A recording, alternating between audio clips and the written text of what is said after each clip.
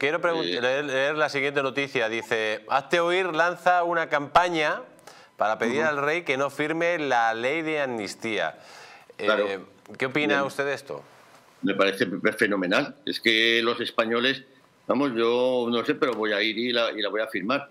Porque es que eh, creo que los españoles tienen que dejar muy claro a la factura del Estado que no está ni mucho menos tan claro que él tenga que... y luego, la opción que le ha dicho Salas Carceller, hombre, en una situación de esta naturaleza, hablamos de una amnistía que el 99% de los juristas dicen es claramente institucional, bueno, lo decían también todos los del PSOE, los que dicen ahora lo contrario, hasta el 23 de julio, bueno, es que algo es para plantearse por lo menos una, una medida de este tipo, sométala usted que tiene la potestad también para ello a un referéndum Prométale usted un referéndum y qué opinen los españoles, ¿verdad?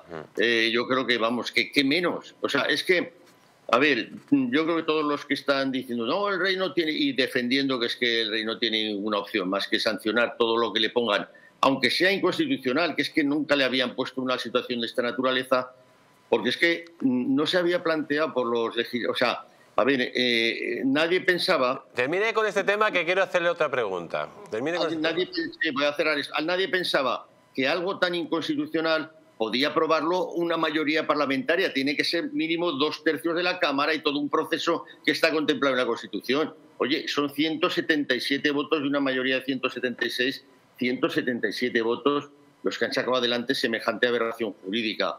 Hombre, por favor, por favor, y que, y diga, no, es que el rey lo tiene que sancionar. Hombre, no, no, no, porque primero eh, habría, es muy discutible, primero que es muy discutible y segundo, que es que, mm, mm, eh, vamos, es que estaría sancionando, está sancionando de hecho en cuanto a la, quiebra del Estado de Derecho, de la igualdad de los españoles ante la ley y, y sobre todo la quiebra de su propia legitimidad.